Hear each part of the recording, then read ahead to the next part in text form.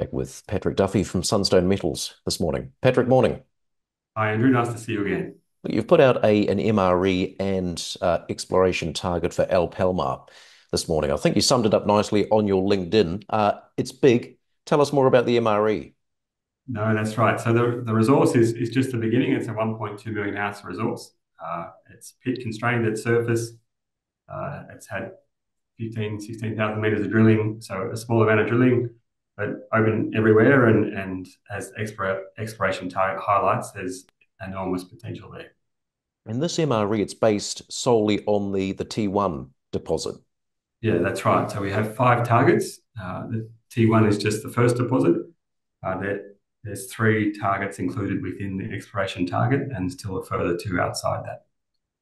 And you say significant open pit potential initially.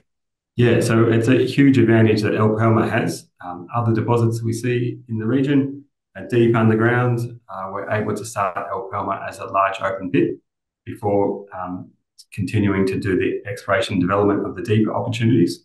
But to be able to get into get cash flow uh, operating and, and build, build up a massive uh, gold and copper mine is, is a fantastic um, strategy to have. And, and tell us more, Patrick, about the uh, this sizable exploration target and what it's yeah. based on. Yeah, exactly. So it's 15 million to 45 million uh, ounces of gold equivalent, uh, gold, copper, silver. Uh, obviously, huge deposit. They don't exist in Australia anymore.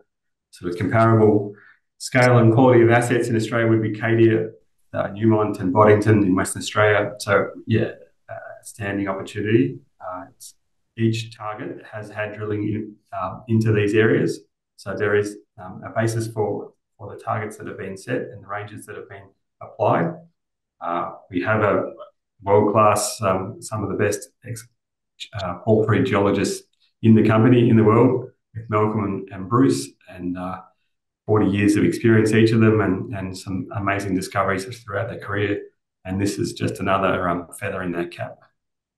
And so clearly, these these form a nice foundation here as far as those talks with strategic partners? How are they? Yeah, going? that's right. We, we've been transparent. We are in discussions with various parties.